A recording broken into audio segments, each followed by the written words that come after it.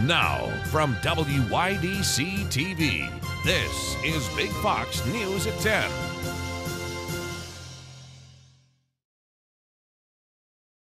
Good evening, I'm Anna Manuel. All on its own, Elmira is a city with a deep, rich history. Well, today, a building that's part of that history had some changes made to it. Our Maggie Hall tells us what we need to know about the Mark Twain study. This historical piece of architecture behind me is having some preservationist work done on it. I spoke to experts about what this work on the building known as the Mark Twain Study means and what it means to have it in downtown Elmira. Inside the Mark Twain study, the famous author wrote major parts of Huckleberry Finn, The Adventures of Tom Sawyer, A Connecticut Yankee in King Arthur's Court, and many other of his works. The windows on the gazebo like structure were restored with mindfulness to their originality. We were hired to restore the window sashes. So, what our goal is, is to put them back in working condition as they worked originally. Okay over the over the years they've been they were painted shut the hardware was broken um, and I think there'd been some leaks and some of the pulleys which are iron had rusted shut they, they were frozen the study building was moved from Quarry Farm on the Elmira Hills to the Elmira College campus in 1952 well, obviously, the Mark Twain Studies uh, uh, landmark, not only for the community but nationally. Yeah, I think that it's inspiring for people who are in school here to be really connected to the history of Elmira. Um, Western New York and upstate New York has like a lot of amazing history, so it's exciting to have something very concrete to remind people of what happened here and the importance that it has for our nation. I think it's wonderful that it's on the campus because where it originally was located at Quarry Farm, the public wasn't able to visit. And so here anyone can come see it. Um, that's important both for, for local people to be proud of, but for visitors to the area, you know, national and internationally to, to visit. Steve and Daisy installed the historically preserved and restored windows today. You can check out the Mark Twain study for yourself, located right on Elmira College campus. Maggie Hall, Big Fox News. Elmira. Corning Painted Post School District is giving away school supplies to students. Hawk Threads is a program that collects gently used clothes and school supplies for students. Today, the school district gave out those supplies. And it's not too late. Anyone looking to donate can drop off donations at the high school offices. Donations can be made from 7.30 in the morning until 4. To learn more about Hawk Threads and their upcoming events, email the address on your screen. A new shelter for unhoused people in Elmira will be opening. As of 2019, there were over 550 individuals in Chemung County that experienced homelessness. The new shelter will open on High Street in a gymnasium next to St. Joseph's Hospital. 48 individuals can live in the shelter at one time in separate living spaces. Catholic Charities will run the shelter, which is set to open this November. Need a place to store your boat or RV this winter? Chemung County might be able to lend a hand. On September 6th, the county will be available for reservation requests. The storage will be at the Chemung County Fairgrounds. The fee is based on the size of the item and trailer. You can make your reservation request on the Chemung County website. Many of us will be hitting the road this holiday weekend, so let's get a quick check on gas prices in the region. In Chemung County, the average at the pump is 386. In Tioga County, drivers are paying 387. Prices in Steuben County are also 387, and drivers leaving from Broome County will be paying the most at 396 per gallon. Statewide, the average is 390, just above the national average of 382. Hurricane Idalia made landfall in Florida's Big Bend near Keaton Beach. It arrived as a Category 3 storm, powerful enough to knock down homes and power lines. Rebecca Castor has more. Millions of Floridians told to hunker down as Hurricane Idalia makes landfall. With winds of up to 125 miles per hour, Idalia arriving along Florida's Gulf Coast as a Category 3 hurricane. Destructive winds uprooting trees, damaging buildings, and knocking out power to thousands overnight.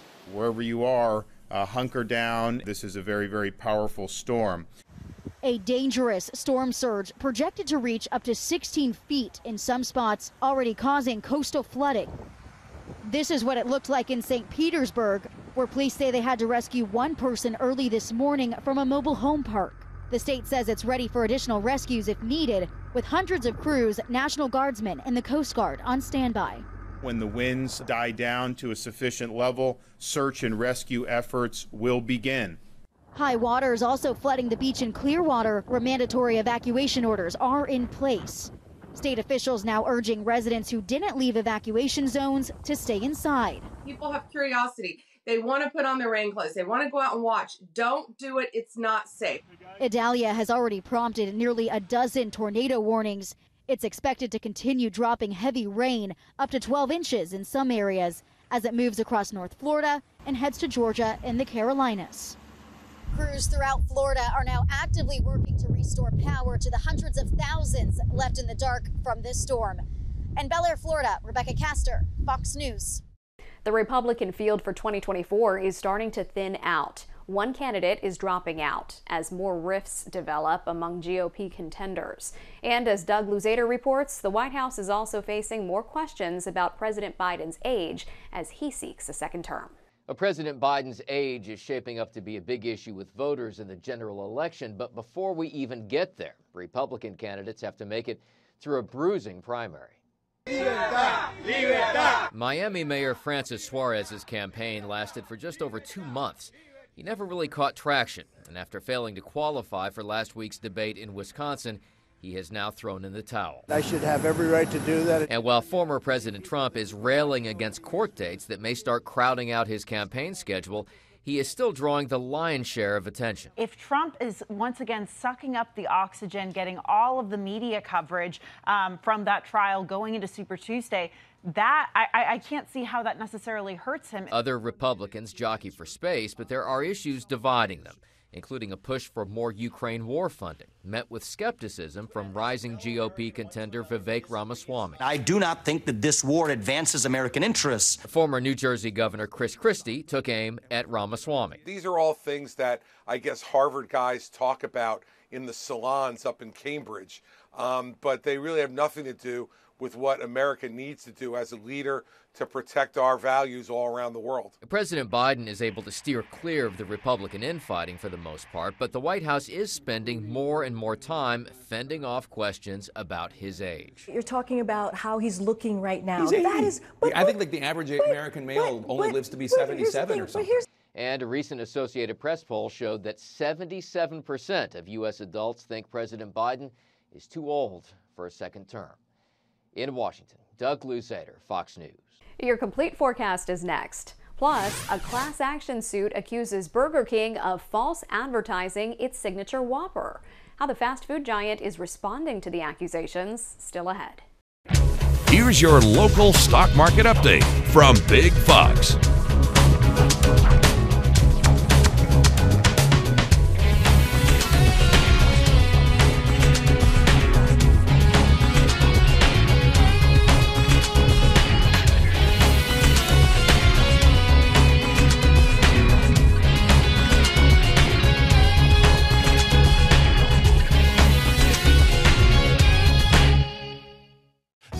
Your Twin Tiers forecast from Big Fox.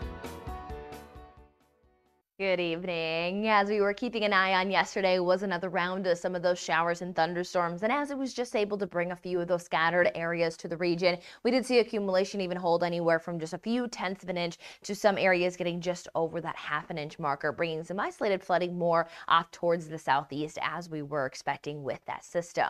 But note that it has been a very wet month. Even just looking at the rainfall that we received over the last seven days, there's that blob of heavy rain that was causing for those flooding concerns early early this week and really seeing that at least the entire area walked away with at least some type of accumulation. And then looking at the 30 day precipitation, just the vibrancy of the rich moisture that we have been dealing with, really much of our area running into that eastern portion of the state, leaving much of the western portion of the state still battling some drought conditions. But not too much to see here when it comes to drought conditions. Those very saturated soils, though, are going to finally get a break. We saw that the clouds were breaking apart as we stepped our way into our Wednesday. And as we roll into our last day of August, we're going to have some fall like conditions as we start off the day with temperatures into those lower 50s with some lingering moisture. There could be some patchy fog. What's going to limit that fog development will be that we are underneath some stronger northerly winds that will continue to keep us with that fall like feel, even expected to linger into potentially our first day of September.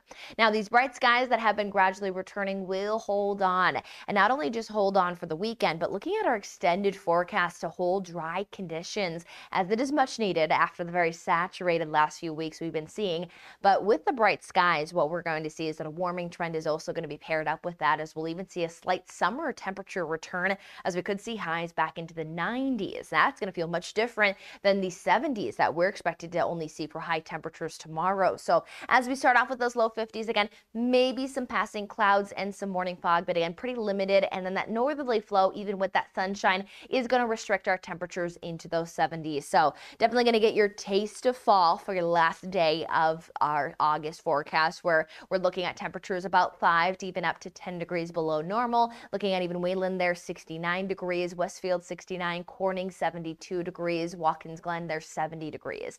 Now as we head into our Friday, we start off the morning with again another round of those very cool temperatures. So definitely some open window weather here for the next 24, 48 hours. There will be calmer winds in place on Friday morning, so that is going to allow for some fog development. But by the afternoon, that will be able to burn off. We'll see them sunshine and near seasonable temperatures to start off August. But that summer return is expected, and we will see that even as early as our Sunday forecast. We could be flirting with the 90s, could have the 90s by Labor Day. And then not only do we see temperatures build to that threshold, but we will have some continuous warmth that will be paired up with these dry conditions into much of next week.